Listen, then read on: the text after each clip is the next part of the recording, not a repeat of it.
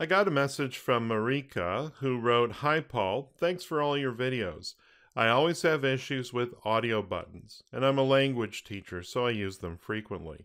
When I set up an audio button on a multiple choice question like the one in the video that she's commenting on, she unchecks the continue movie at the end of audio box. The issue that she's experiencing is that when you go to click the submit button and it prompts you to click anywhere or click Y to continue, it actually doesn't continue. The slide doesn't advance. Any thoughts? Well, I think the best way to address this, I'm not entirely sure exactly what situation you're experiencing, um, but you know, for this, for your sake and for the sake of all the other viewers, I'll take you through some of my best practices when working with audio or multiple audio clips on a single slide here. So here's an example of a multiple choice question that I've created that's music related. And to, uh, to make it uh, an example that uses a music clip, what I'm asking users is to identify the style of music that's going to play when they press this play music clip icon or this button. It's just a smart shape and I'm going to use it as a button. There's a couple things I'm going to need to do first of all. Uh, what I like to do with my quiz questions, multiple choice or otherwise, is rather than to have them continue on success and failure, I prefer to actually go to next slide immediately. And the reason for that is that if you've added any narration to this slide, uh, that's going to pause, let's say one and a half seconds into the slide, and then you'll have to wait for the uh, slide to advance to the next slide. This way it will jump right away, and that's uh, all I need to do there.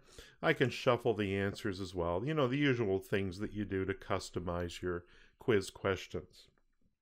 So the first thing let's do uh, is record that narration recording. I'm just going to position the slide audio window so I can still read what the narration should be.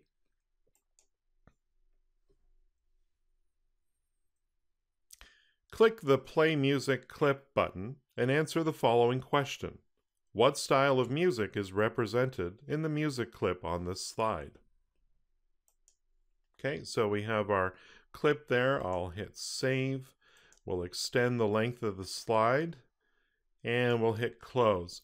And of course that brings, that draws my attention to the fact that my music clip button is only appearing on the slide for a specific time. And in fact, what I want to do is extend it to the end of the slide. So Control E uh, will make it uh, visible for rest of slide. So that's uh, that takes care of that. I'm just going to adjust the audio, just make sure there's a little space on either side there and we'll select the play music clip button. And what we're going to do is we're going to check off use as a button because it's actually just a smart shape right now. And we're going to go to the actions tab and you might think that I'm going to play the audio directly from the on uh, on success action here. But in fact what I'm going to do is I'm going to execute advanced actions and there's a reason for this. Um, if you create uh, an advanced action for this, you can add additional commands that could be helpful to you. So I'm going to call this play audio. And the additional command we're going to run is we're going to stop triggered audio. And the reason you might want to do this, it's not really applicable in this example, but let's say I had four buttons on this slide instead of just the one, and each one would play a different audio track. Uh, the stop triggered audio would stop any previously played music from continuing before playing the next audio that you're going to play. And the advantage, of course, is that this will prevent a cacophony of sound coming through the user's speakers and only play one audio file at a time. So now that we've stopped any previously triggered audio, now we'll play the audio. And I've already imported this audio file into my library, so I can select it from here. If I hadn't, I could simply import it using this button here. Uh, we'll select that. We'll save this as an action, click OK, click Close, and we're pretty much go, good to go here. I personally like to uh, turn on the hand cursor and disable the click sound. That's just a personal preference.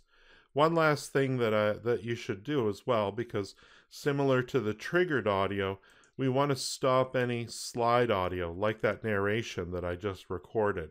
So going to the Options tab, again, we've got the uh, the the Play Music clip uh, button that uh, is actually a smart shape being used as a button. With that selected, we just want to check off Stop Slide Audio, and it's going to give you the choice when clicked or when paused. Uh, stick with when clicked, because that's what we're looking for here. And what we also want to do is uh, get rid of any pauses on this button as well from your timing panel um, because we don't want it to continue playing the project from this point. In fact, we don't want this button to affect the timeline at all. Uh, and so that should that should work well at this point here. Uh, one thing I forgot to double check, of course, is anytime you create a new advanced action when you have existing advanced actions, make sure that your uh, script drop-down window is pointing at the correct advanced action. And we'll do that just now.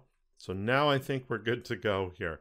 So let's preview the next five slides and see if this works well. What I'm going to do is allow the narration to partly play, and I'm going to attempt to interrupt it by pressing my play music clip uh, button partway through.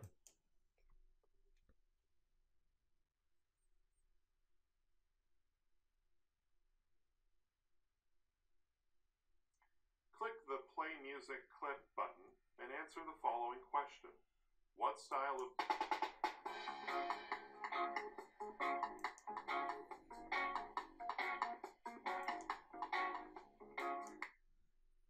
So as you can see there, it worked exactly as predicted. When I pressed my Play Music Clip button, it interrupted the narration, stopping it from continuing to play, and then it played the sample of reggae music. And of course, then I was free to select the correct answer, click submit, and then click anywhere or press Y to continue. If you thought this video was useful, please share it with your colleagues. If you need help building your next e-learning project, consider hiring me. My focus is to create effective learning that helps you achieve your business goals.